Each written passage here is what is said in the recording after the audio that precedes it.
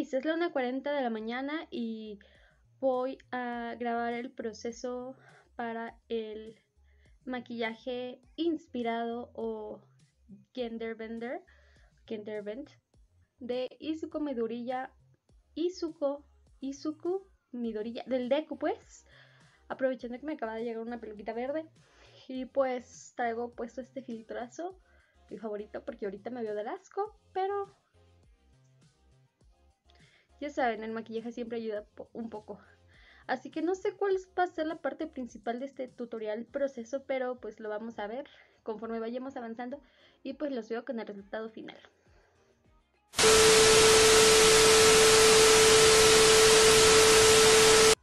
Hey besties, bienvenidos al canal, yo soy Jazz y bienvenidos a un nuevo video. Aún no sé exactamente qué es lo que voy a hacer, solo sé que quiero hacer algo inspirado en Deku de My Hero Academia. Y em, pues vamos a empezar, son las 11.47, voy a empezar por el maquillaje y después veré si agrego una o dos cositas más, pero eso lo veré ya conforme avance la noche y si es que no me dan ganas de botar todo. Y pues nada, 11.48 y vamos a empezar con el cosplay del día de hoy. Cosplay maquillaje, lo seguiré informando. ¡Ey! Ya que me agarré la pela para que no me en la cara. Miren, yo empiezo poniéndome pegamento tóxico en las cejas, porque porque mis cejas son muy rebeldes. Entonces, ah, para que amarre. El gel no me aguanta tanto, so.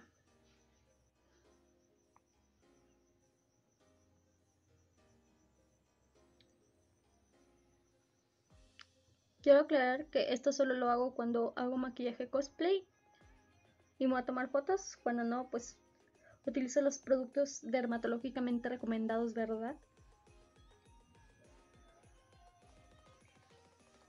Y todo lo que sobra, como de esta parte, lo voy a quitar con un algodón y agua micelar.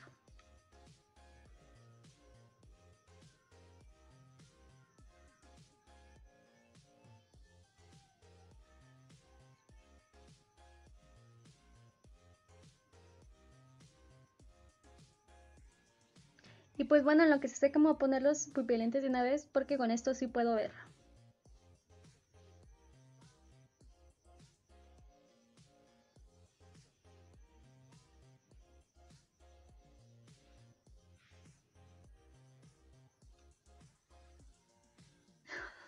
Ah, no pasa nada, no me duele.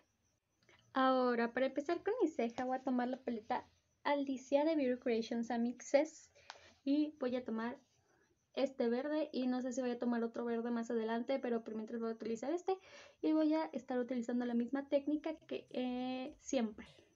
Solo que ahora mi ceja es más clara porque la teñí con tinte rubio.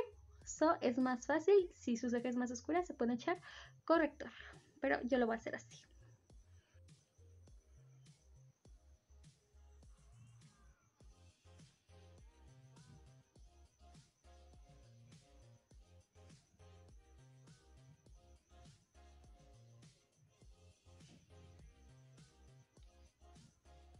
Miren, sí terminé tomando otra sombra, pero es esta verde que se llama Flur de Remember Me.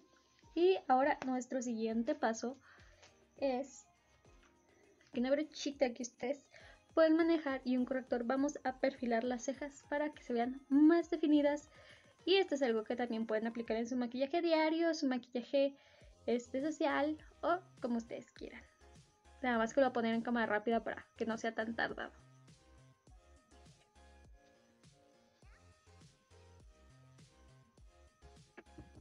Con los dedos o con la brocha o como puedan o quieran. De hecho, con estas partes que me quedan un poquito más marcadas, sí trato de difuminarlo con los dedos.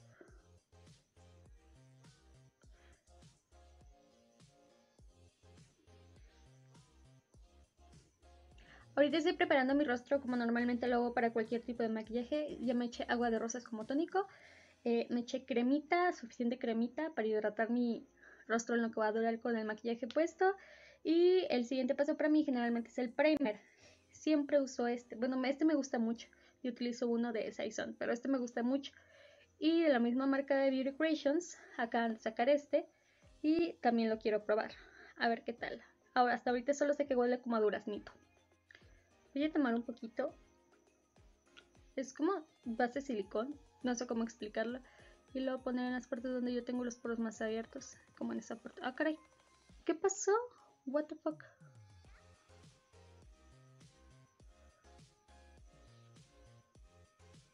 Ah, caray.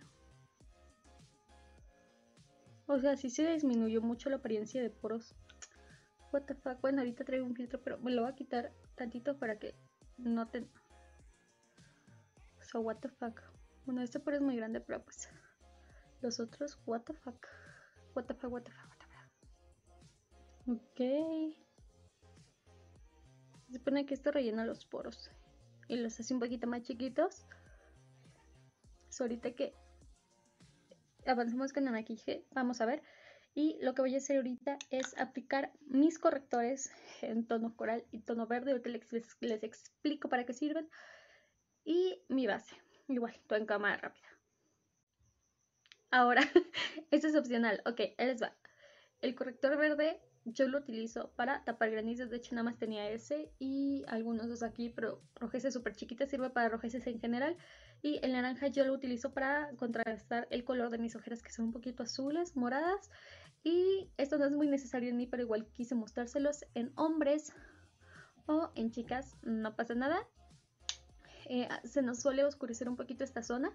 Entonces también pueden usar para tapar esa oscuridad. Pues, pues sí, pues. Y ahorita con la base se va a como que a equilibrar todo, pero se lo difuminan a toquecitos, así no, o sea, no lo hacen así, para que quede el color. Eh, yo utilicé estos dos correctores, este de Light Girl Curl, me parece, no sé, y este de Bisú en color salmón. Y, ah, no, ese es de SFR color, no sé cómo se pronuncia, pero es el 108, amigas. Y el 13, salmón de bisú. Y pues nada, así queda más o menos. Eh, pueden saltar de ese paso, no pasa nada, pueden hacerlo. Todos somos diferentes. Y pues voy a aplicar mi base de bisú, por cierto, y les muestro. Ah, mi base es el tono 8, avena de bisú.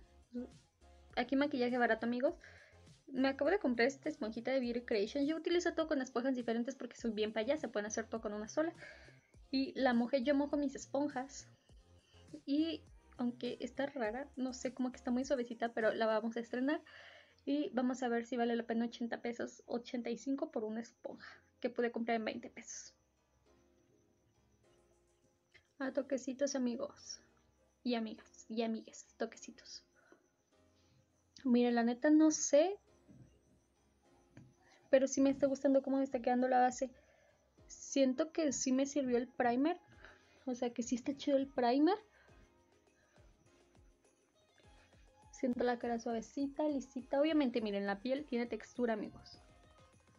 Se puede corregir el color, la textura no, pero sí te puede ayudar un poquito. Entonces como que sí me está gustando el primer y la esponja. Pensé que no me iba a gustar, pero yo creo que sí. Nada más que ya se ve toda mugrosa. Pero pues ni modo, así pasa. Lo que sigue es aplicar mis contornos en crema antes de sellar la base. Yo utilizo los de Beauty, los de y los de Bisú. Utilizo el número 3 en beige, aunque a veces utilizo otro número, pero pues ahorita está este. Y había comprado uno nuevo de Bisú, según yo más oscuro, pero resultó ser el mismo tono. Es el, el tono 14, Almond.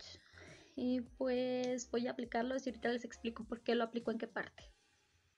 Ok, esta es la forma en que yo aplico los contornos oscuros.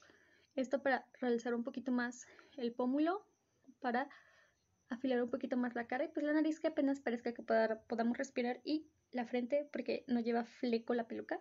Entonces, para hacer un poco más armoniosa la cara.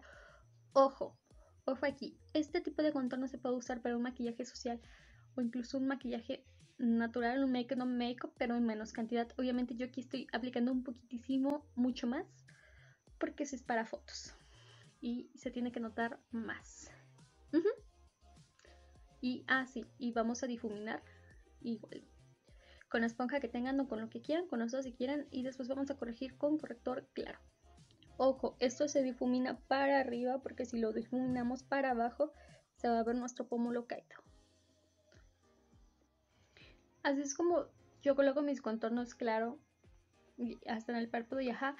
Y nada más un friendly remember, remember, un amable recordatorio de que hay muchas maneras de hacerlo y la mía es la menos profesional que pueden encontrar, pero por lo menos para mí es muy funcional.